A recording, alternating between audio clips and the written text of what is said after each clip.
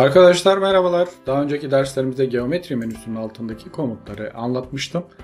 Şimdi bu e, aşamadan sonra artık temel geometrilerin ve bunların çizimlerini kavradıktan sonra düzenlem komutlarıyla çizimde oluşturduğumuz geometrinin üzerinde nasıl değişiklikler yapabileceğimizi, nasıl modifikasyonlar yapılabileceğinizi ve farklı e, standart geometrilerle üretemeyeceğimiz şekilleri nasıl e, üretebileceğimizi bu yolla öğreneceğiz.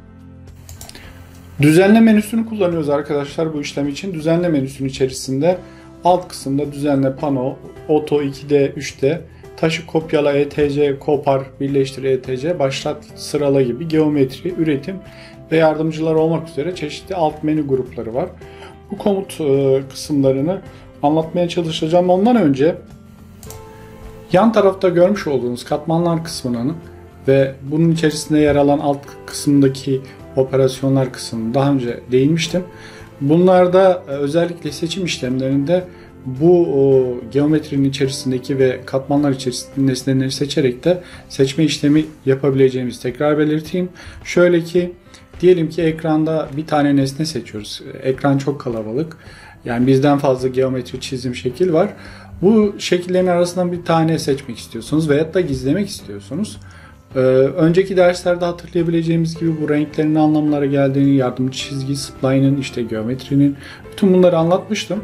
Şimdi varsayalım ki buradaki yardımcı çizgiyi seçeceğiz. Yardımcı çizgiyi seçmek için arkadaşlar yan taraftaki katmanlar kısmına geliyoruz. Burada alt kısımda taptan bu geçişi yaptığınıza emin olun arkadaşlar. Bakın altta birden fazla e, taplar var. Burada katmanlar tapında olduğumuza e, görmüş olduğunuz gibi bunun yanındaki oklar üstüne tıkladığımızda her geometri ve e, üretilen nesne ile ilgili yan tarafta isimlendirmeler var. Bunlar katmanlaştırılmış. APS geometrinin içerisinde geometriler var ve e, yardımcıların içerisinde işte yardımcı çizgiler var. Renklerden de zaten anlaşabilir.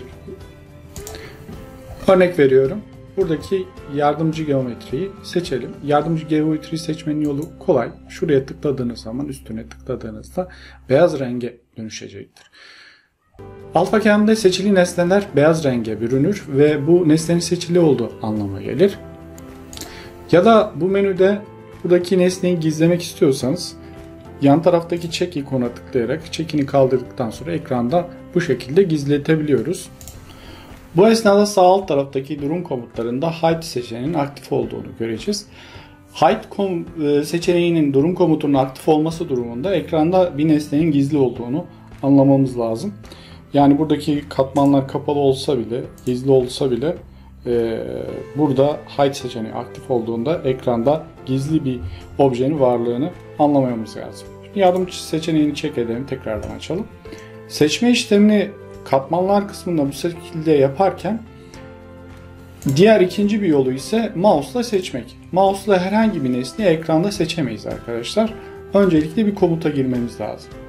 AlphaCam'de komut döngüsü şu şekilde. Öncelikle komutu çalıştırırsınız. Ardından nesneyi seçebilirsiniz.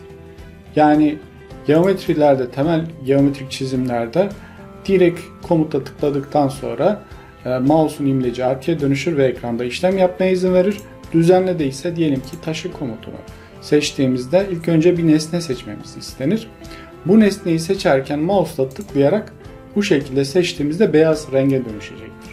Ya da burada e, diyelim ki SC yapalım, işlemi iptal edelim. Seçeceğimiz nesne diyelim ki buradaki beşgen olsun. E, ve e, komuta girdik taşı dedik. Taşı komutuna girdikten sonra beşgen komutunu seçeceğiz. Burada mouse'la seçtiğimde bakın buradaki geometriden bahsediyoruz. Seçtik. Ya da buradan geometri 1 diye düşünüyorum bunun olduğunu. Geometri 1'e tıkladığımızda bakın 5 parçadan oluşuyor zaten. Buraya çift tıkladığımızda beyaz renge dönüştüğünü göreceksiniz. Tekrar ESC ile çıkalım. Taşı diyorum. Taşı komutuna girdikten sonra buradan seçim yapabilir ya da katmanlar kısmından buradan nesnenin üzerine bir defa tıkladıktan sonra nesneyi seçili hale getirirsiniz. Ardından sağ tıklayarak artık taşıma işlemini gerçekleştirebilirsiniz. Yani iki yöntemde de nesne seçme işlemini gerçekleştirebiliriz.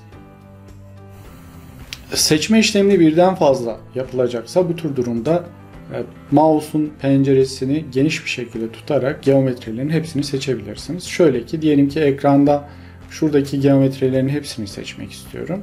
Şu alandaki geometrileri seçmek istiyorum. Mouse'un soluna basılı tutmak suretiyle öncelikle komuta girelim taşı komutuna. Ardından bu şekilde seçerek e, geometrilerini seçiyoruz. Burada dikkat etmemiz gereken şey şu. Geometrinin herhangi bir parçasının bu pencerenin içerisine girmesi durumunda geometri tamamen seçiliyor. Dikkat ederseniz.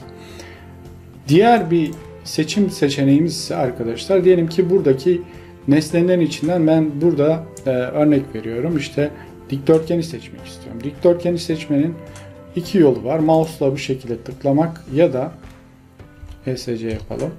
Komuttan çıkalım. Tekrar komuta girdim. Şu şekilde bu sefer e, beyaz şekildeki bir pencere. Buna kesme penceresi de diyebilirsiniz. Sadece burada bu pencerenin içerisinde bütün parçaları giren geometrileri seçmektedir. Bu şekilde tıkladığınızda mouse'un soluyla bir dikdörtgen alan seçtiğinizde nesne seçilecektir.